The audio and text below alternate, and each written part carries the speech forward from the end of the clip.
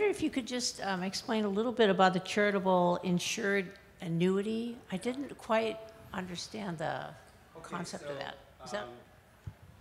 There's, two, there's basically two components to it. The, the annuities in Canada uh, for, for uh, people, especially for people over 65, have very, very favorable tax treatment. And uh, in the current marketplace, depending on your age, somewhere between 70 and 90% of the cash flow that you receive is not taxable. So by itself, annuities can be an interesting way of dealing with a reduction in income.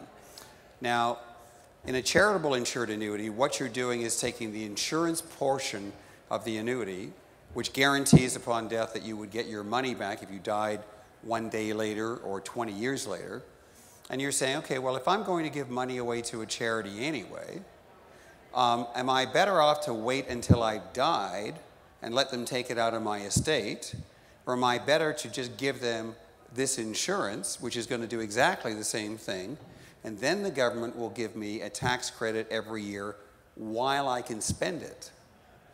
So that was the distinction we did for the case study, was to say, well, it, it's a decision. You don't have to do that, but you could do that if the issue was you were trying to increase the cash flow on your fixed income investments.